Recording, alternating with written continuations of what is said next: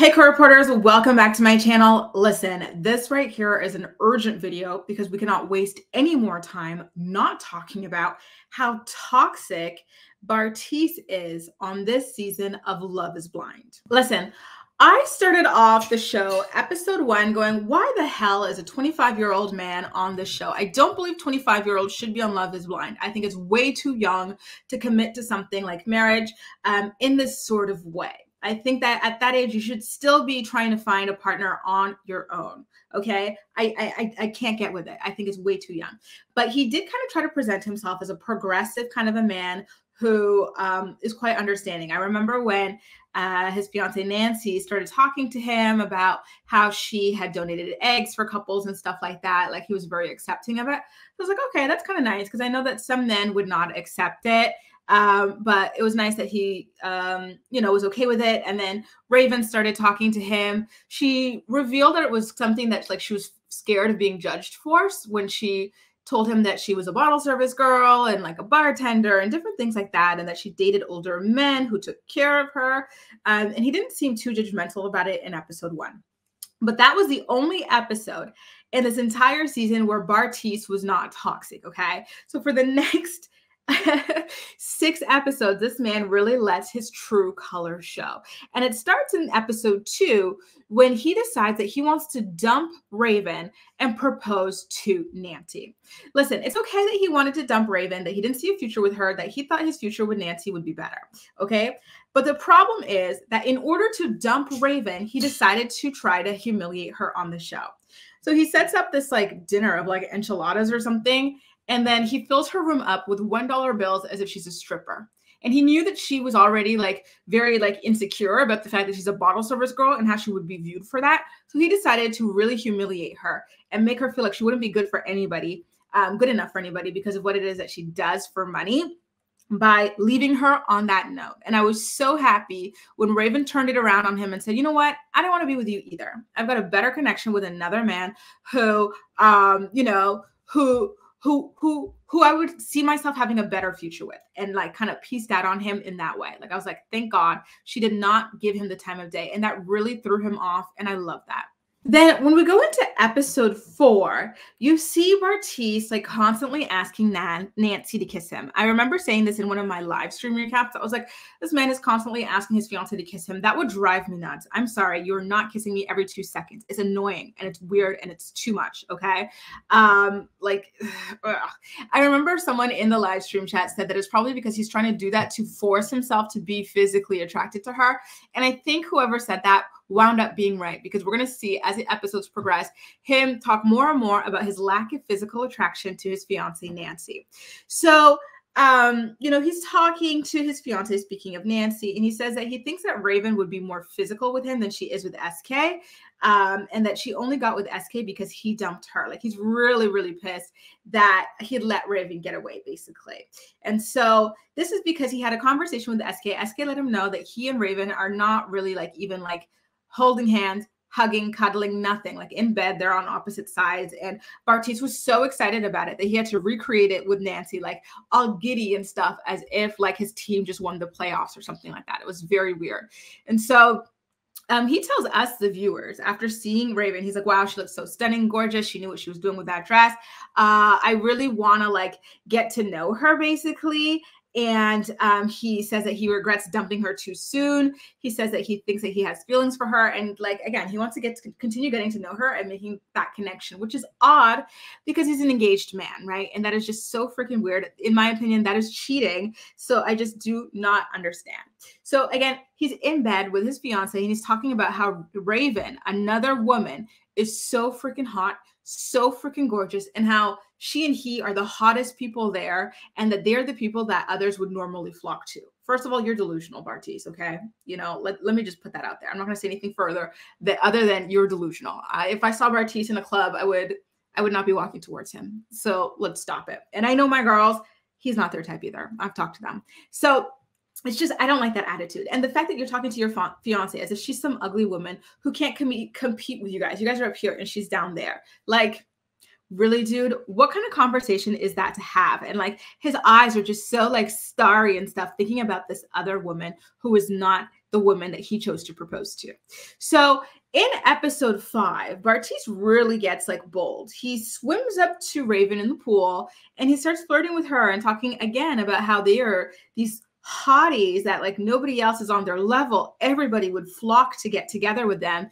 And, you know, he describes her as like the most, like he doesn't say she's the most beautiful thing ever, but when he's describing her to us in his confessional, it seems like he basically wants to say she's like the most beautiful thing ever. And um, it just made me so sad for Nancy that he never once described her that way. And I felt like it was such trash. And like for him as an engaged man to constantly be hitting on Raven at the pool, horrible. Like it's just so hurtful, you know, for Nancy to go ahead and watch that on the show, not knowing what is happening behind her back. Like one thing I will say though, and I did say this in my video about how we were wrong about Raven, I was really proud of her for calling out his shallowness and not being flattered by his skin deep compliments to her. She's like, You only like me because you like the way I look. You don't like nothing else. So you need to GTFO. I'm happy with my connection. It's a serious connection, it's an emotional connection, and it's a mental connection. And this, whatever you think you've got with me, it's nothing to me. And I felt like she was so smart and you know to go ahead and continue with SK and honor her engagement there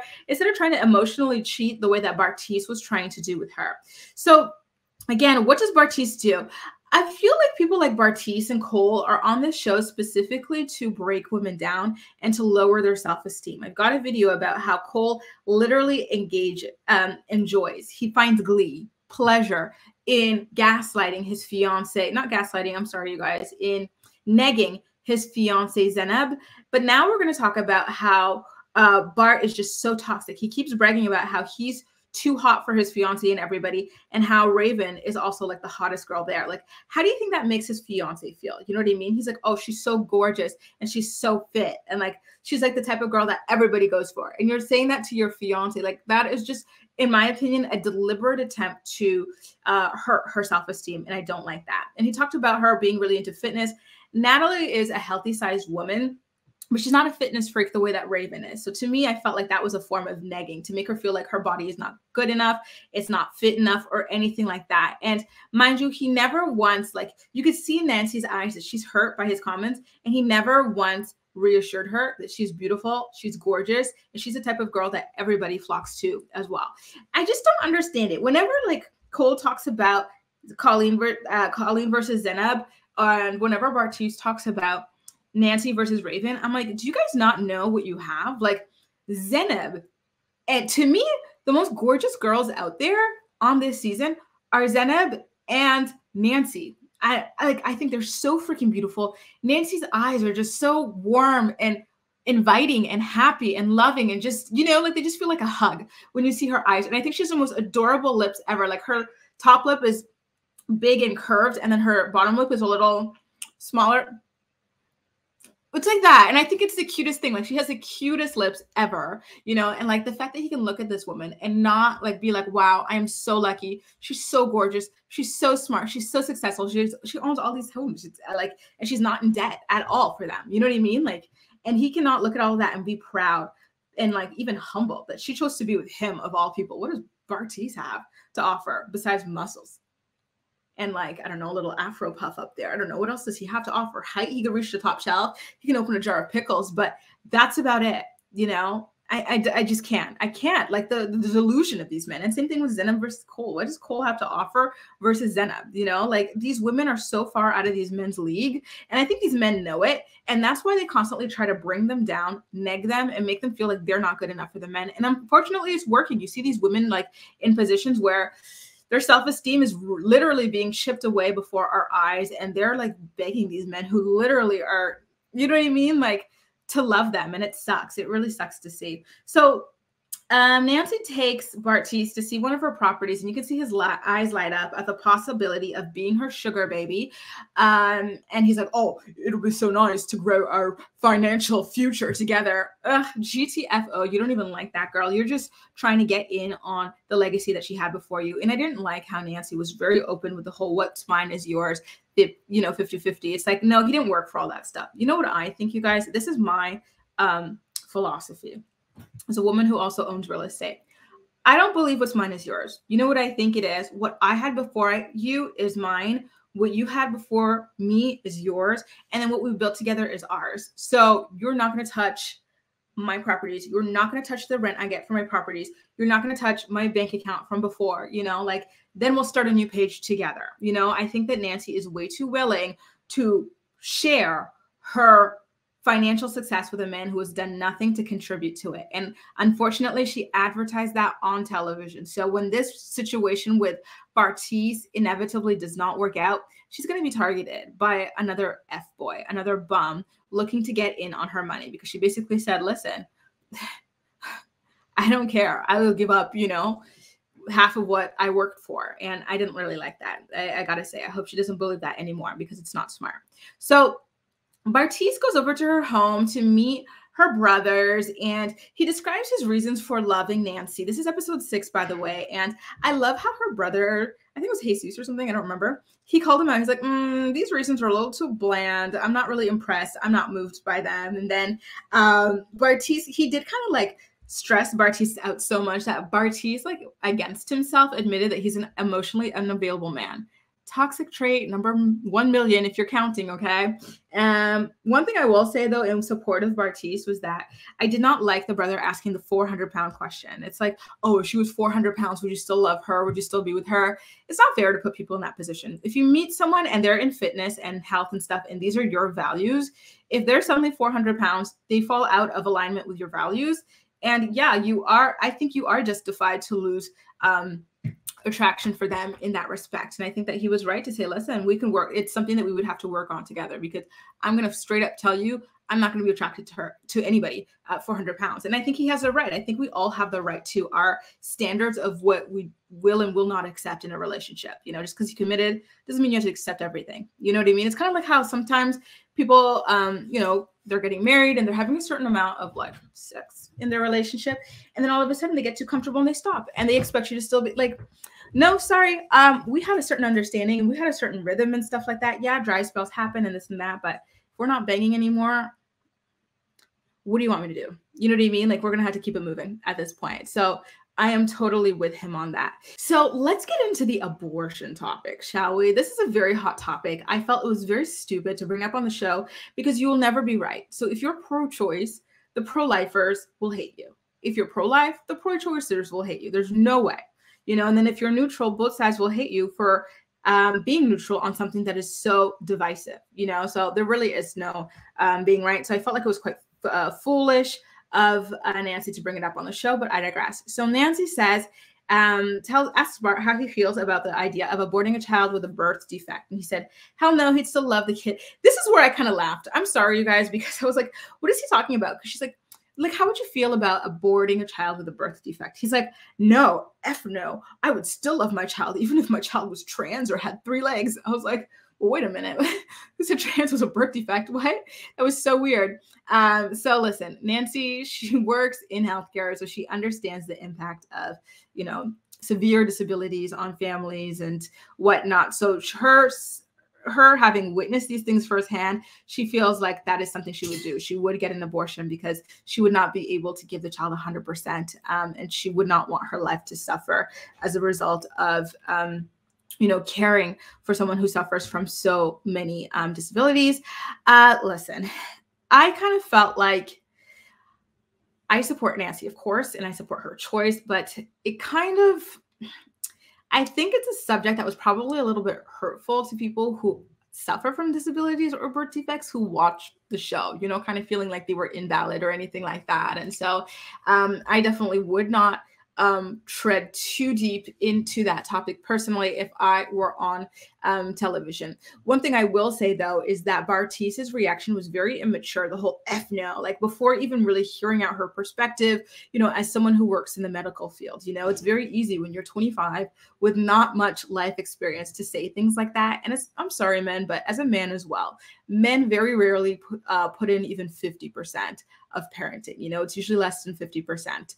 Um, unfortunately, women take on the vast majority. So it would mainly fall on, if they had a child together, it would mainly fall on Nancy. I can pretty much guarantee that. Um, so it's very easy when you're not typically the primary caregiver um, uh, to to say that, you know, so so definitively. So um, one thing that I thought was kind of funny was like he's like women get one abortion pass, and it's only if they're not financially ready or if they're too young. So it's like, all right, um, if you're if you're pregnant with a potentially happy um, healthy child, fine, uh, you abort it because you're too young um, or don't have enough money. But if you're pregnant with a child that can have a low quality of life and truly suffer throughout life, don't it didn't make any sense. And then he talks about all the plan Bs he's been out here buying women. It's like, so I'm a little confused here. I'm getting dizzy. So uh, on that, let's on that note, let's talk about episode seven when Nancy meets his family. So Nancy um, and him are sitting with his family at the kitchen, and then he brings up the abortion thing, and then her sister starts crying about families choosing abortion. And I didn't understand that that's why she was crying at first. I was like, okay, let me go back because maybe like she's talking about like she suffered a miscarriage or something like that and she was just triggered at all of this i don't know but she was just sad because some people some women choose to have abortions some families choose to have abortions and i was like i would take this as a red flag i'm sorry like i am not the idea of marrying into a family this like you know extreme uh kind of stresses me out i'm not even gonna lie it just feels very very judgmental and so i didn't like it at all and i felt like bartise purposely set her up by asking that question or bringing up that topic in front of his family, knowing their stance on it. We all know our family stances on these sort of hot button issues, and he did that uh, specifically to kind of humiliate his fiance, and I really did not like that. So this is where he continues to get extra toxic. By the way, okay, you guys. So this is one million and ten if you're still counting. So um, at a certain point, midway through episode seven, Bartise says that something feels off in his relationship with Nancy. So they've kind of started icing each other out. So you see him on his computer typing away, doing his little accounting. Nancy's getting ready to go to work. And um, he says that his sister no longer believes in the relationship, which I felt was an odd adage because, like, I don't know, like, okay, like, okay, like, what am I supposed to say about that? I don't know. So um, then all the couples meet up with all the other random couples, but not only them, but people who were not cast, um, not engaged or anything like that. And so Andrew, who proposed to Natalie before Bartise did, and who Natalie rejected for Bartise, um, is there. And Bartise decides to try to humiliate Andrew in front of everybody by asking him how he proposed to Nancy and what she said. I, I felt like, listen, how Andrew proposed to Nancy is his own business. It's personal, it's intimate, it's private, only to be shared on Netflix. Okay. Um, and number two, Bartise, you knew that Nancy said no because Nancy's engaged to you. So the only goal for you in this conversation is to humiliate and bully Andrew and to make him feel like a loser next to you because you got the girl. You know, like Bartise, that was very toxic. I did not like it. I did not appreciate it. So you know what's really kind of gross about this is that um, Andrew gets to talk to Nancy a little bit about her relationship with Bartise since the engagement. And Nancy lets him know that Bartise told her that he wants to be with a tall, blonde fitness model. What? To say that to your fiance who is not tall, who is, she's the opposite of tall, okay? She's short.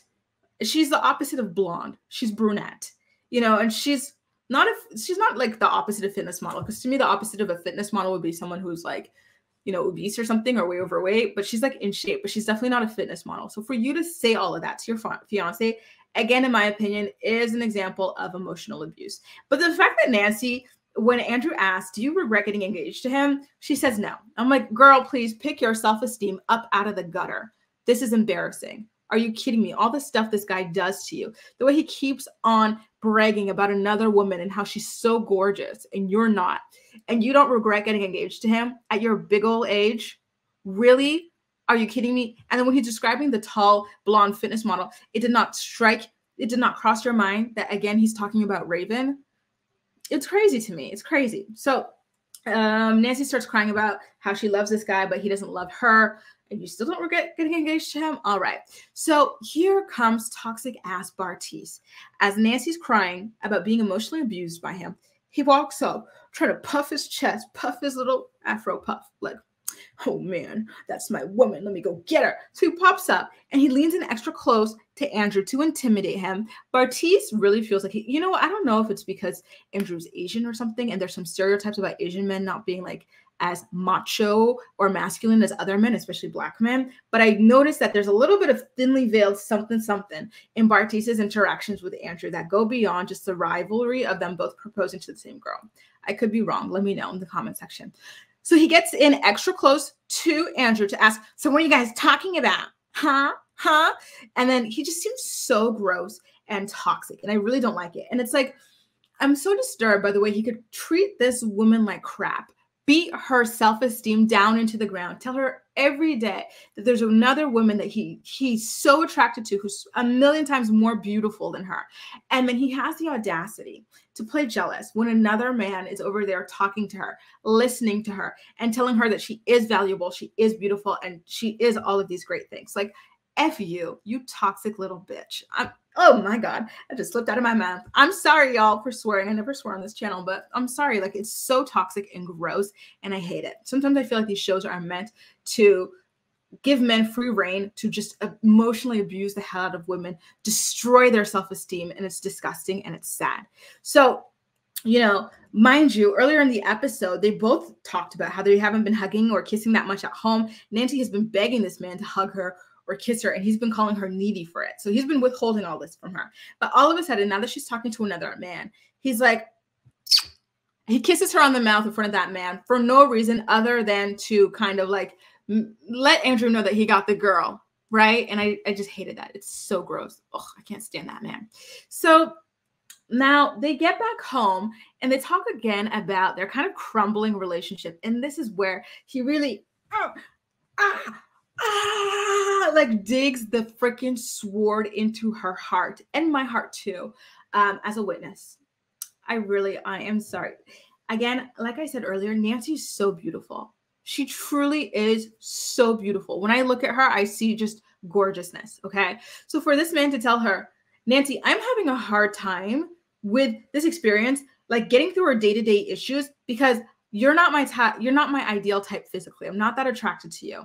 You know, like he basically says that if she were, remember his type, which is tall, blonde fitness model, it would be easy for him to overlook the issues, like her still owning some real estate with her ex and whatnot.